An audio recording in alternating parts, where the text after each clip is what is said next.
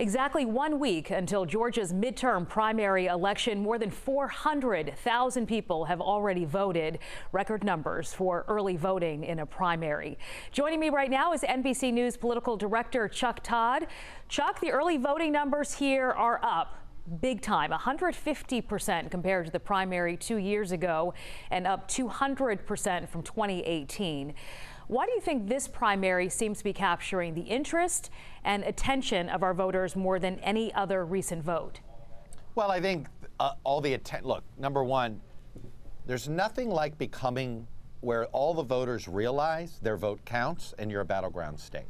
And Georgia, I think the fact that Georgia uh, appeared to deliver the presidency and control of the U.S. Senate, mm. and the point being, I think more voters realize, oh my goodness, my vote counts. So that, number one. Number two, I think the reason you're seeing a bigger early vote is you had more people vote early before because of the pandemic. Frankly, people like the convenience. And as we've seen anywhere in the country where it's been introduced, it only seems to grow in use. Excellent points. And at the top of the ballot statewide is the governor's race. We have Stacey Abrams. She has no opposition on the Democratic side. But Republican Governor Brian Kemp has four challengers, including former Senator David Perdue. Now, despite name recognition and an endorsement from former President Trump, Perdue's campaign never really picked up steam. So is it too early to say that Trump's Midas effect, at least in this race, may be dwindling? The fact is, Trumpism is still very popular and very strong in the Republican Party. But I think sort of it, it it, it really is race dependent and it's candidate dependent here.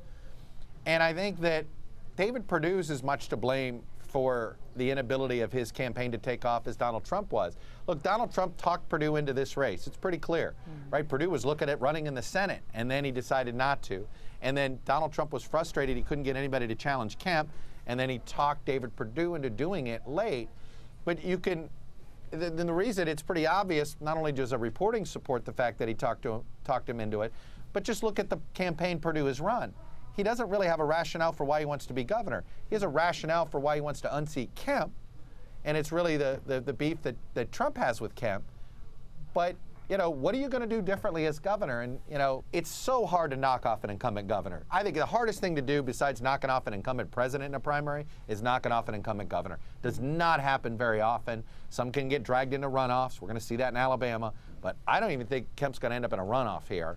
Uh, and it just is a reminder that if you don't have a, you gotta, you gotta make a case for why the other person should be fired and and it can't really be something about the past, right? Mm. You got to have the grievances got to sort of matter in the everyday lives of people, and I think that's the the missing piece here for Perdue.